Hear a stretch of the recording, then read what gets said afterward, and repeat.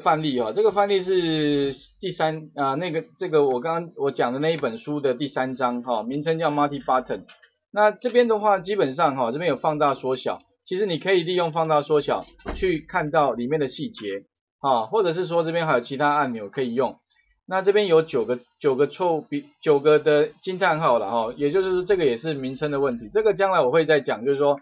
如何把它改成加在那个自创的资源档里面。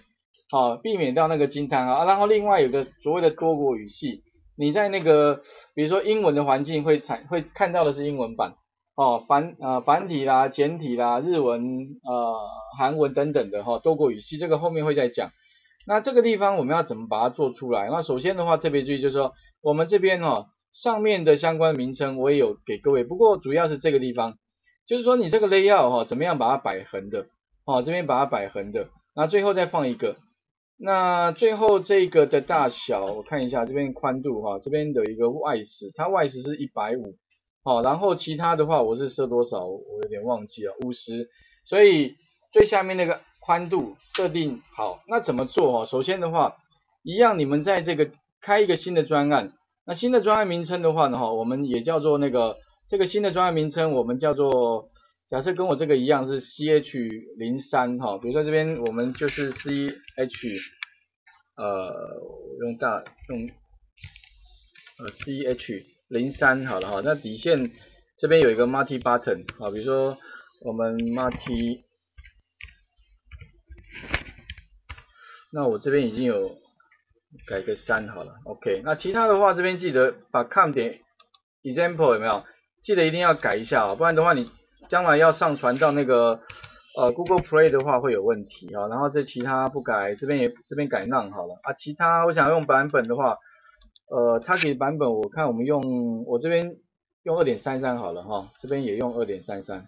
，OK，啊你们可以视情况了，你用四点二二也 OK 哈，然后下一步下一步。啊，那基本上呢我们这个专案就建立起来了，建立起来之后的话哈，再来就是两个，一个是 UI 部分。一个是 code 的部分，哦，所以基本上往后建立专案就是三步骤嘛，建专案、UI 跟写 code，大概啊在 test，大概四个步骤，哦，所以接下来的话我们要怎么样放上放这个相关的这些相关的东西上去哦，当然第一个哈，请各位注意一下，它预设的话是一个 relative 的 layout，请你把它改成 linear layout，好。那修改的方法非常简单，按右键，change layout 一下，然后呢，再来就是说哈，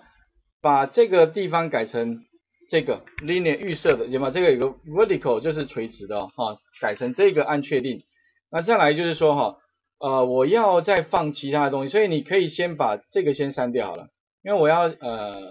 可以可以重新布局或者再加好了，都都无所谓哈，要把它重新 delete 掉，我用一个比较大的 large 的。哦，那取的这个，把它放在这上面，放上来，那把它更改名称，那底下的话，我们等下再来看哦，如何把它变成类似像这样子。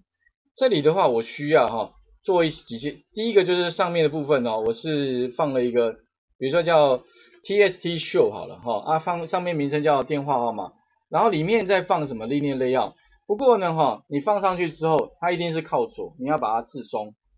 OK，那底下要分别再加上它的数字。电话号码就是一到，好，就等于是模拟我们的电话号码，啊，最后加一个清除。OK，这里的话，我想各位先试试看，先建一个专案哈。那专案名称的话，哈，我这边取名称叫做呃 CH 零三的 Multi Button 啊，Multi Button。